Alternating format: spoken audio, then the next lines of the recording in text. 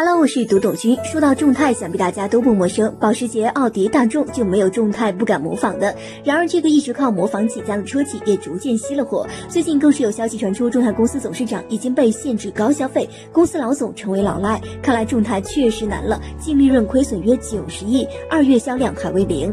众泰汽车靠模仿保时捷走红。众泰最为出名车型的就是 S 二九。它的外观几乎和保时捷 Macan 一模一样，如果不细看，还真分不清谁是谁，因为模仿的非常到位。众泰的销量也是节节攀升，从二零一五年开始，众泰汽车全年累计销量从二十二万辆迅速增至二零一六年的三十三万辆和二零一七年的三十一点七万辆。保时泰风光的时候，年营收一度超过二百亿，可以说是尝到了甜头。然而如今却迎来了生死存亡的关键时刻。据众泰汽车此前发布的公告显示，销量、营收均出现大幅下降。公公司预计二零一九年归属于上市公司，股东净利润亏损约六十到九十亿，同比下降百分之八百五到百分之一千二百二十五。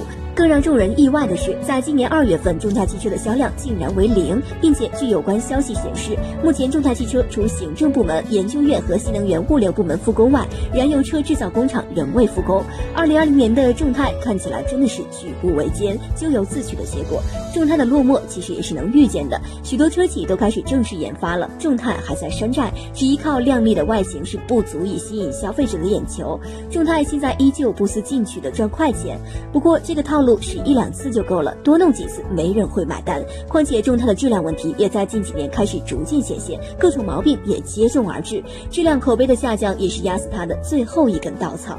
关注读懂君，为你带来更多财经资讯。